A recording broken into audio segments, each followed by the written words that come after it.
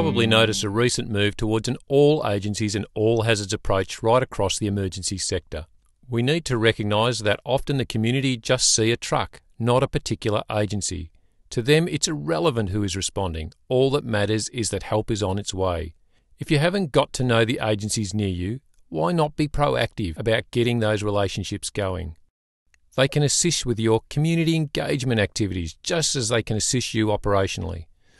That might be New South Wales or South Australian Fire Services if you're near the border.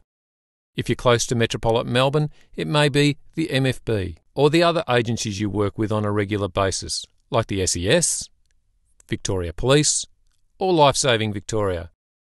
Let's hear from Elissa Jans from the Olinda Fire Brigade. She had a whole host of agencies on board at the fire safety event in the Dandenong Ranges.